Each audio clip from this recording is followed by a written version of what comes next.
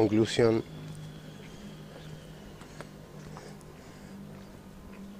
Sepa o no sepa con qué mina me veo, ella se dé cuenta y pone las propias amistades de ella como